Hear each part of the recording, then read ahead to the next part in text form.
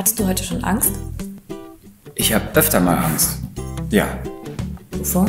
Ich habe manchmal Angst vor Spinnen. Oh, vor Spinnen habe ich gar keine Angst. Ich habe Angst, dass mir ein Nagel einreißt. Ich habe Angst davor, ähm, aus Versehen nackig aus dem Haus zu gehen. Ich habe vergessen, mich anzuziehen. Das wäre blöd. Ich habe manchmal Angst, dass ich vergesse, meine Unterwäsche anzuziehen. Ich habe auch manchmal Angst, vielleicht aus Versehen auf einer Bananenschale auszurutschen. Ich habe Angst, in Kacke zu treten. Ja, ich habe auch Angst vom Zahnarzt. Also wenn der Zahnarzt ruft, geht's mir nicht gut. Ich habe Angst vor Wespenstichen. Ich habe Angst vor Autos auf der Straße. Das ist kreuzgefährlich manchmal. Vor was habt ihr denn so Angst? Habt ihr Angst? Manchmal? Wovor?